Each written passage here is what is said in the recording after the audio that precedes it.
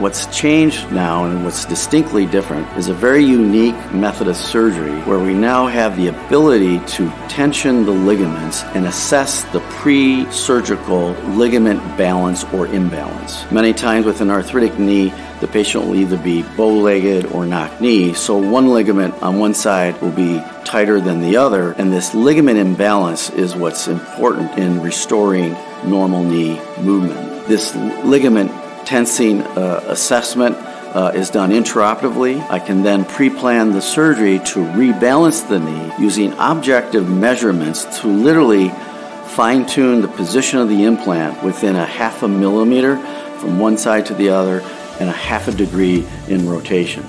This very precise positioning of the implant is what's allowed for the ability to restore that ligament balance and stability and therefore normal knee ligament movement. The robotic assistant is allows me to execute this surgery and to be able to evaluate each cut I make to make certain that we've achieved the goal and, and achieve that balance at the end of the procedure.